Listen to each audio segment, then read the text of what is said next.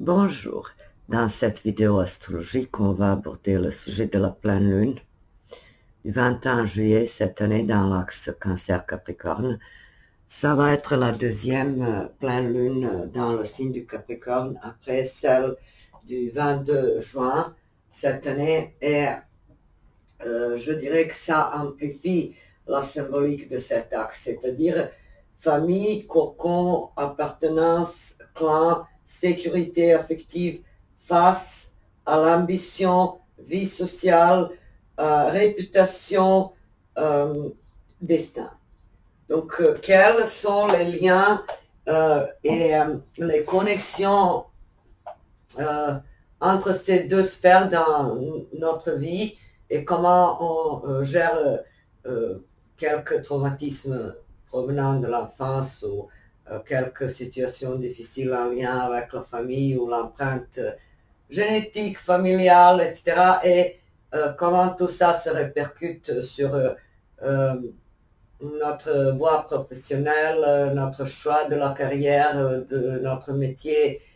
Donc, forcément, quand quelqu'un a été encombré de trop de responsabilités pendant euh, son enfance quand il était obligé de s'occuper de sa famille, d'être père ou mère à ses propres parents, alors cette personne, selon moi, pourrait, euh, dans l'âge adulte, fuir la responsabilité, choisir les métiers où euh, il y a la liberté de travailler quand on veut, ou métier, choisir donc quelque chose en lien avec la scène ou un métier artistique par exemple.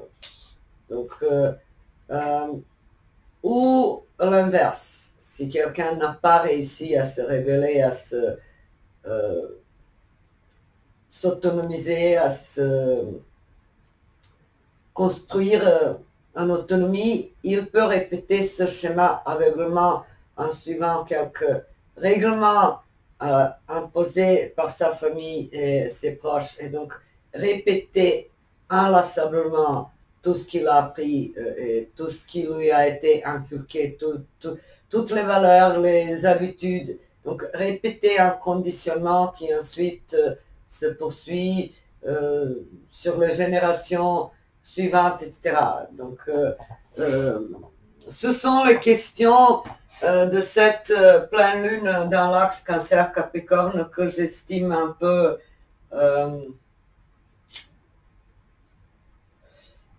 disons, une période fragilisante, une influence euh, susceptible de euh, remonter à la surface nos points faibles, euh, notre vulnérabilité intérieure.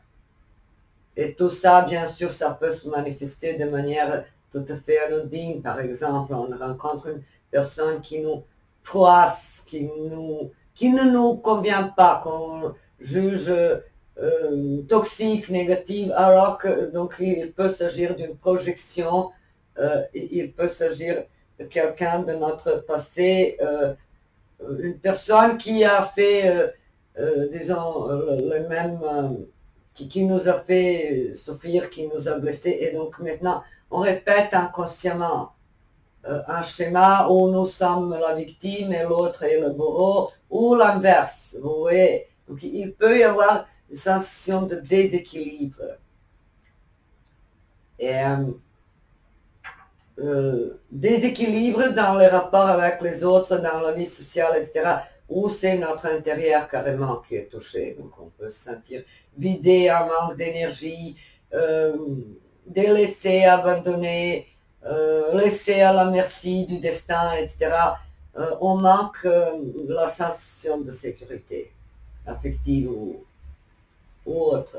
on manque de certitude parce que quand c'est la pleine lune, on amplifie la sensation quelconque de vide, d'abandon, de tristesse, de souffrance, de difficulté. On a la tendance à voir tout ça euh, beaucoup plus compliqué qu'il ne l'est en réalité. Donc, euh, euh, cette pleine lune se déroule sur le dernier degré du signe du Capricorne opposé au soleil, au, soleil en cancer également sur... On dit que c'est le, degré 29, en réalité c'est le degré 30, c'est le dernier degré. Donc euh, euh, le dernier degré euh, englobe tous les degrés, tous les tout ce qui se trouve entre 29 et 30 degrés, c'est le dernier degré, donc on, le nomme le 30e. Bref, euh, euh, comme le degré déjà l'annonce, il y a un côté euh, de finalisation, de d'achèvement, donc il faut achever, il faut terminer, il faut clôturer absolument quelque chose en lien avec cette sensation de manque de d'inaptitude. Si, l'on avait fait des efforts à rentrer dans une structure et si ça ne marchait pas ou si on trouve l'entourage inadapté pour notre évolution, c'est le moment de se l'avouer, de ne plus pousser le problème sur le tapis, de ne pas vouloir à tout prix rentrer dans un moule qui ne nous convient pas. Je dirais que c'est surtout ça euh, le message. On a déjà vu et forcément entrepris une partie de, ce processus de délestage énergétique et émotionnel lors de la dernière pleine lune également dans l'axe cancer Capricorne du 22 juin. Et là, c'est vraiment mettre un point final sur cette rumination, cogitation, sur ces dilemmes, sur ces doutes. Euh, euh, disons, nommer, classifier ce qui euh, nous faisait souffrir, ce qui nous tourmentait. Ça peut être donc quelques motifs banals dans notre vie quotidienne. Ça peut être les soucis avec un supérieur ou avec une figure d'autorité ou plein de situations comme ça et euh, on, va avoir la clarté, la lucidité cette fois de vraiment euh, terminer les rapports basés sur le déséquilibre et l'abus ou la manipulation ou l'intérêt euh, quelconque. Et comme c'est un processus de nettoyage de notre espace physique, mental, psychologique, euh, ramène la sensation de soulagement, alors euh, j'en déduis que vraiment, cette fois, on pourra vraiment être soulagé, être complètement débarrassé de quelques tracas qui ne nous laissaient pas en paix. Ça peut être souci avec un partenaire, souci avec euh, quelque chose euh, lié à la maison, ou un prêt, ou un crédit, ou quelque chose. Euh, c'est le moment de clarifier ces situations et de redevenir réaliste et de vraiment choisir bien sa position en fonction de ses moyens, ses ambitions,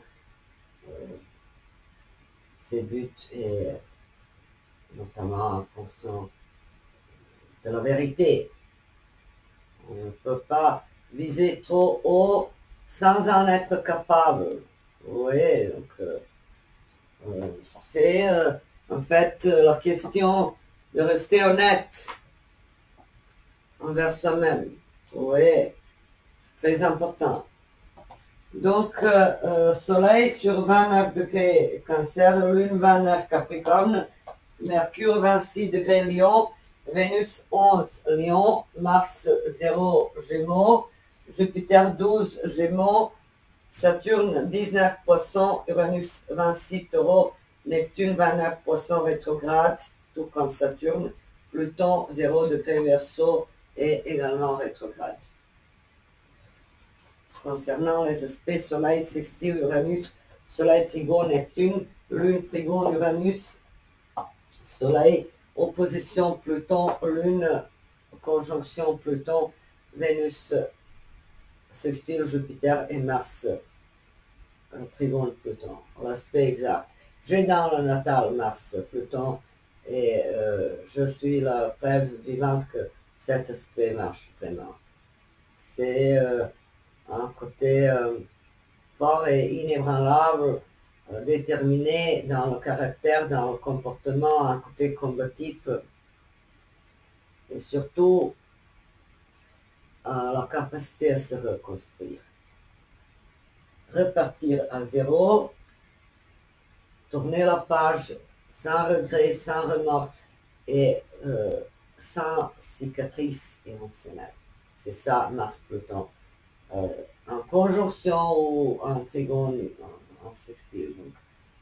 C'est des aspects harmonieux entre ces deux planètes euh, incarnant la force masculine brute, l'énergie pure de, de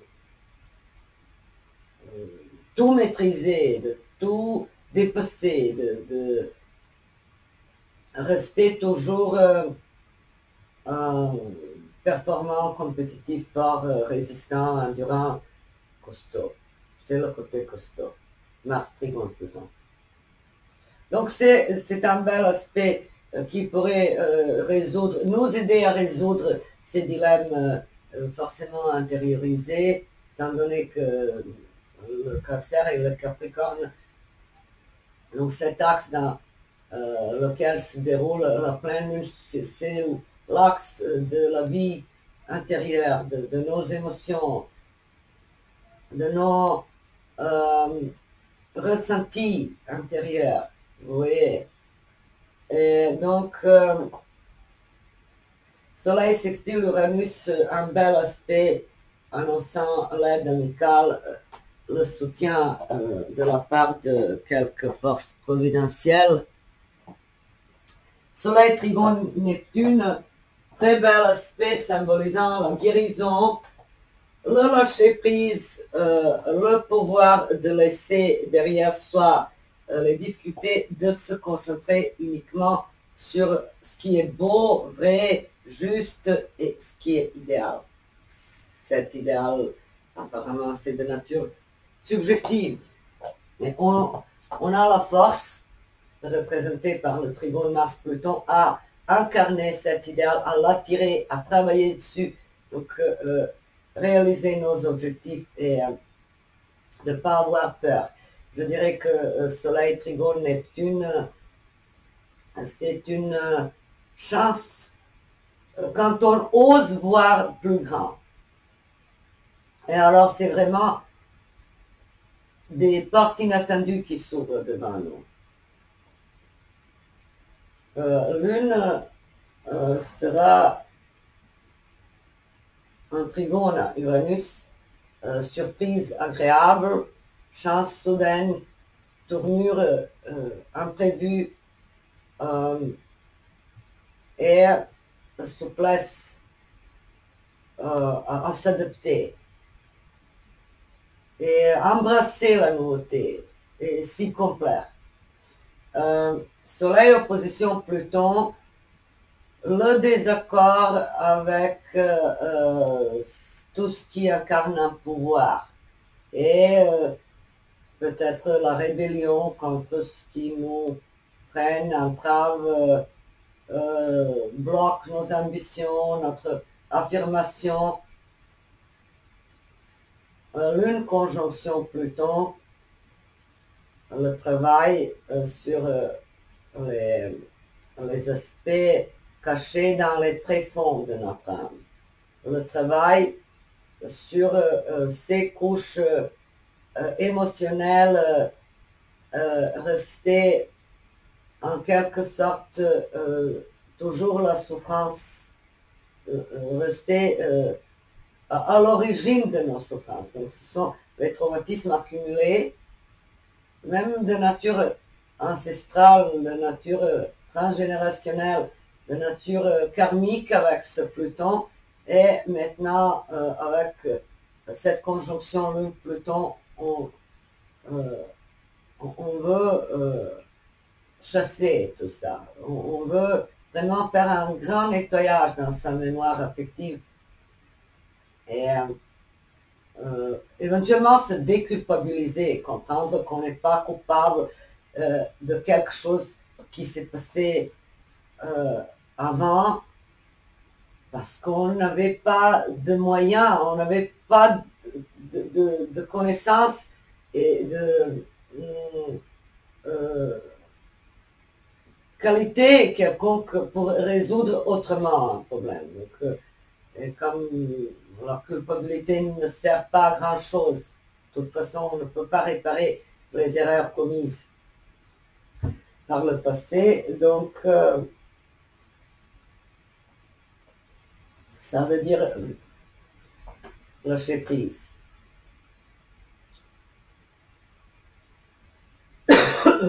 Pardon. Vénus sextile Jupiter aide amicale, euh, cadeau, indulgence euh, envers nous-mêmes, moment de plaisir, d'épanouissement et euh, le côté épicurien qui peut ressurgir. Ensuite, Mars, Trigone, Pluton, comme j'ai déjà dit, un pouvoir immense de se reconstruire, de se battre, de d'accepter de rentrer en compétition surtout avec soi-même et de se dire, voilà, mission accomplie, j'ai dépassé mes résultats euh, précédents, maintenant je suis vraiment à la hauteur de tout ce que j'ai euh, voulu atteindre. J'ai choisi un ouvrage euh, symboliquement euh, assez parlant euh, concernant euh, ces questions famille, choix affectif et leur façon de, de, s'entrelacer, de se mélanger. La famille, non seulement que l'époque que, pendant les époques précédentes euh, imposaient des mariages arrangés, mais aussi euh, faisait la pression, euh, disons, au niveau d'une chasteté, euh, d'un mariage qui, devrait être tout pur, qui devrait se consommer juste après avoir signé, après avoir déclaré solennellement. Ses promesses à, son conjoint. Donc euh, ça, ça c'est très en phase avec l'axe cancer-capricorne. L'impact euh, ou l'influence de la famille euh, donc sur notre façon de nous engager en tant que en tant qu'époux, épouse, en tant que compagnon. Est-ce qu'on est capable d'assumer la responsabilité que la vie en couple impose euh, et euh, où euh, on a la tendance à les fuir. Est-ce qu'on a vraiment choisi notre vie affective et sentimentale selon nos propres envies ou de, notre plein gré où, on a été quand même un peu modelé par euh, quelques préjugés ou, principes euh, familiaux. Donc, euh, l'ouvrage que j'ai choisi pour illustrer ce, ce, tiraillement intérieur de, de l'axe cancer-capricorne, c'est Splendor in the Grass, euh, en français, c'est la fièvre dans le sang. Euh, la traduction n'est pas euh, proprement dit fidèle à, l'original, mais bon, dans la traduction, on a le droit de modifier les choses. C'est un art. Donc, euh, La fièvre dans le sang est un film américain dont le réalisateur était Elia Cousin et les acteurs principaux Natalie Wood et Warren Beatty. Et puis, vous connaissez forcément la trame, il s'agit d'un jeune couple. L'action se déroule au Kansas en 1928, juste avant euh, le crash économique et euh, les situations. Je suis désolé, vous entendez, c'est quelqu'un qui rachète de vieux, de vieux objets en fer je ne sais pas quoi, la ferraille. Ça, c'est très souvent, et je l'ai remarqué que chaque fois quand je commence mes vidéos euh, où je dois parler, ces personnes se présentent. C'est vraiment étonnant. Euh, il fait 40 euh, degrés quelque chose aujourd'hui, mais bon. Bref, euh, il y a donc dans ce film une très, très belle image de, de cette axe, de cette pleine lune dans l'axe cancer capricorne. Pression familiale qui nous détermine, qui nous modèle, qui façonne notre, manière de réagir, d'aborder la vie et les questions en tout genre. Donc, euh, euh, dans ce film, euh, Dini et Bad sont encore donc, scolarisés et puis ils tombent amoureux l'un de l'autre et du coup, il euh, leur semble évident de se marier, de continuer la vie de famille, de euh, fonder la, famille, mais hélas, les obstacles familiaux euh,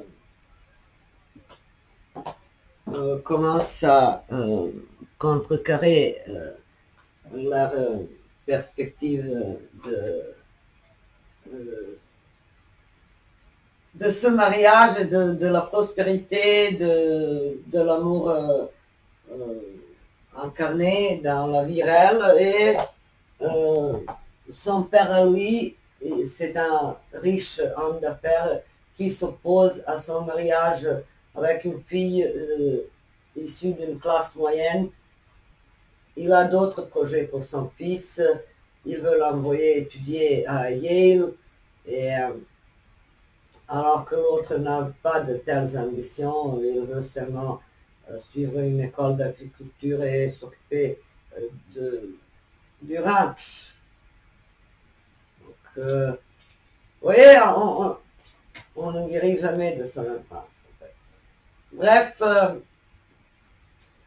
la situation se complique, il commence à fréquenter une fille facile, elle euh, a une crise de nerfs, elle euh, finit euh, par se faire interner dans un asile psychiatrique où elle est soignée pendant deux ans de sa dépression.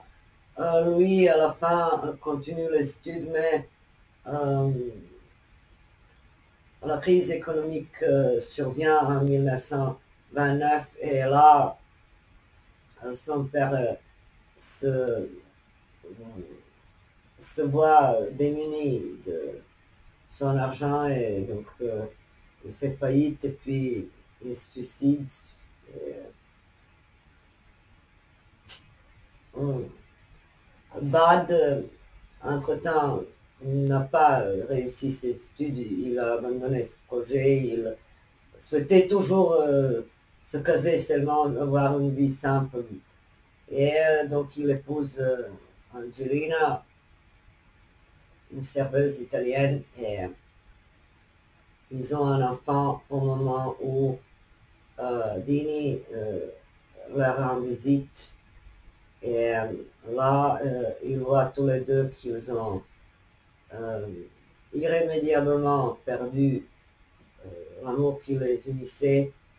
Et pourtant ni l'un ni l'autre n'ont abandonné cette quête de bonheur et d'harmonie et d'équilibre personnel. Il s'est marié, elle euh, lui annonce qu'elle va accepter la demande de mariage d'un étudiant en médecine connu dans l'asile psychiatrique où elle séjournait, elle était soignée pour sa dépression. Et donc, toute cette capacité de rebondir, de remonter la pente, ça pourrait être le trigone Mars-Pluton, se régénérer, se reconstruire, se, euh, trouver la force en soi-même, euh, la force, euh, l'énergie de survie, de bataille.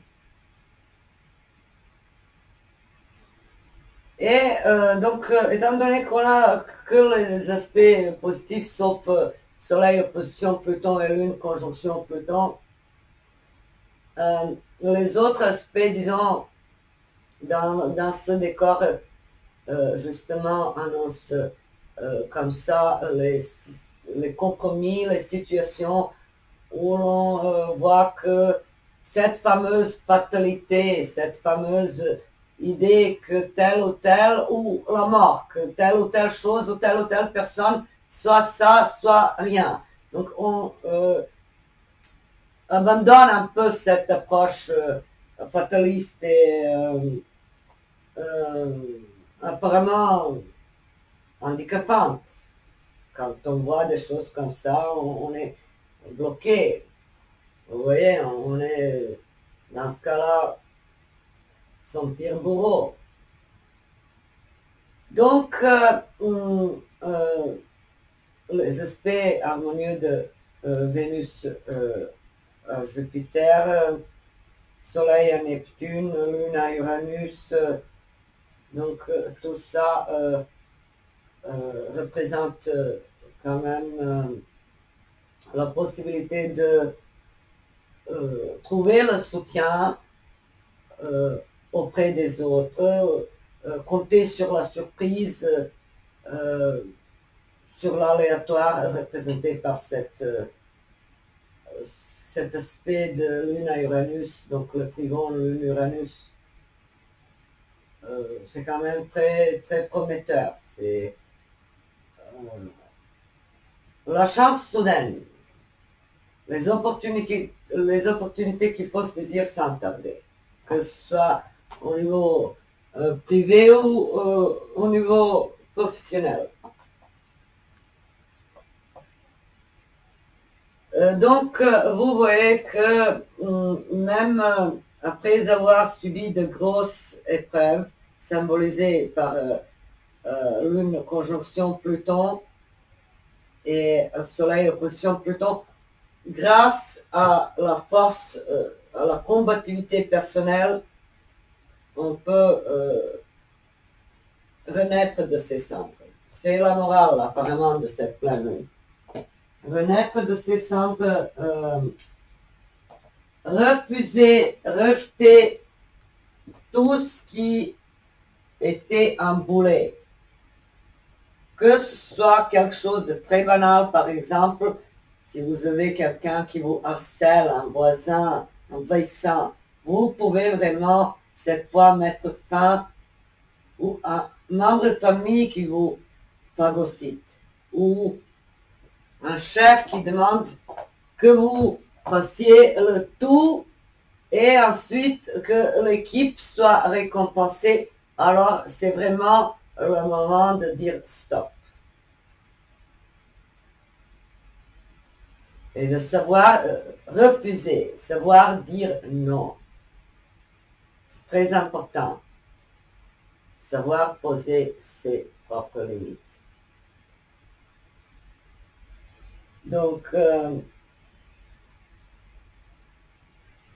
je pense que j'ai bien expliqué. Euh, donc, euh, apparemment, cette deuxième pleine lune, c'est en quelque sorte la répétition de ce qu'on a déjà compris et plus ou moins digéré émotionnellement lors de la précédente pleine lune dans cet axe du 22 juin. Et maintenant, il s'agit forcément euh, d'avoir les preuves, euh, d'avoir euh, vraiment concrètement résolu et éclairé la situation. qui, qui, n'était plus vivable. Vous voyez, ça peut être euh, n'importe quel domaine dans notre vie. Donc, euh, je pense que j'ai tout expliqué et que hum, on, va vraiment euh, se débarrasser de, de quelque chose qui, nous euh, forcément affaiblissait jusqu'au point de nous rendre malades. Oui. Ça peut être dépendance affective. Ça peut être habitude nocive. Ça peut être euh, euh, sensation d'être obligé de subir quelque chose. On arrête de victimiser avec cet aspect. On rejette cette aura de victime et euh, de jouer du destin. On voit qu'on a quand même euh, son propre libre arbitre, qu'on est capable de gérer les choses comme on peut, avec les moyens du bord, vous voyez. Mais là, grâce à ces aspects harmonieux de Soleil à Neptune, à Uranus, Vénus à Jupiter, on va euh, facilement trouver sur notre route ce petit coup de pouce dont, dont on avait besoin. Ça peut se manifester par l'aide amicale, par le soutien de la part d'une structure, par euh, euh, l'attitude bienveillante de la part d'une personne cultivée et euh, forcément euh, disponible à nous épauler.